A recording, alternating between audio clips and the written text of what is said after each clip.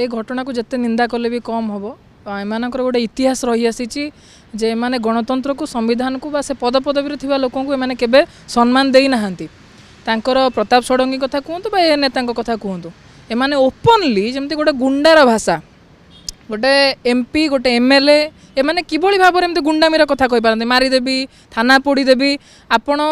ଯଦି ଗଣତନ୍ତ୍ରରେ ପ୍ରକୃତରେ ବିଶ୍ୱାସ ରଖୁଥାନ୍ତେ ତାହେଲେ ଏଭଳି ଶବ୍ଦ କେବେ ଆପଣ ପ୍ରୟୋଜନ କରିନଥାନ୍ତେ ଏହାର ଅର୍ଥ ଯେମିତି ପଙ୍କ ହେଲେ ହିଁ ପଦ୍ମ ଫୁଟିବ ସେ ଓଡ଼ିଶାର ଯେଉଁ ସୌହାର୍ଦ୍ଦପୂର୍ଣ୍ଣ ବାତାବରଣକୁ ନଷ୍ଟ କରିକି ଅଶାନ୍ତି କରିକି ପଙ୍କ ତିଆରି କରିକି ଏମାନେ ତାଙ୍କର ପଦ୍ମ ଫୁଟିବା ପାଇଁ ଯେଉଁ ବିଷ